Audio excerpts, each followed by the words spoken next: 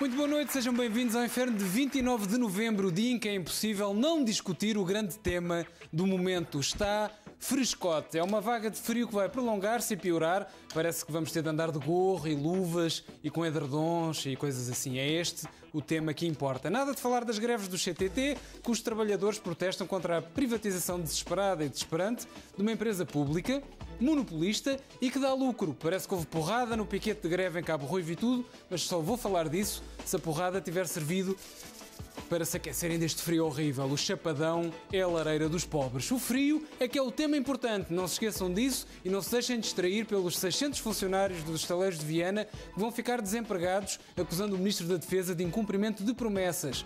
Pois, irem para a rua é chato, mas ter de vestir duas camisolinhas para sair de casa e sentir-se todo enxoriçado todo o dia ainda é pior. Ah, e nada de falar dos protestos que continuam a existir dentro e fora da Assembleia da República e que só dão mais cabelos brancos à Assunção. Ah, não dão, não dão cabelos brancos à Assunção Esteves porque ela já tem um look a Andy Warhol que não dá hipóteses.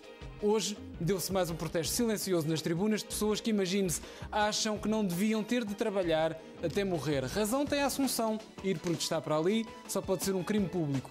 Mas deixem estar, não prestem atenção a isso. O frio que se faz sentir agora que vamos entrar em dezembro é que é lixado. Ui! Nada de pensarem na manchete de hoje do Correio da Manhã, que garante que há cada vez mais boys a trabalharem nos gabinetes dos diversos ministérios com o bónus dos seus salários médios estarem a subir. O que é isso? Comparada com uma foto do termómetro do tabuleiro de um carro a mostrar 0 graus. E eu ainda pensei falar do facto das empresas públicas terem dado 731 milhões de prejuízo apenas em 6 meses.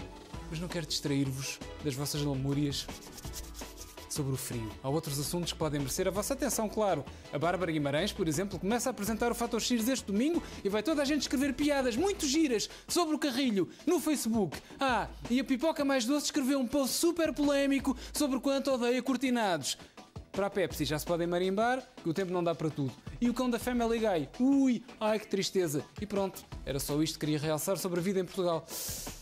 Está frescota, hein?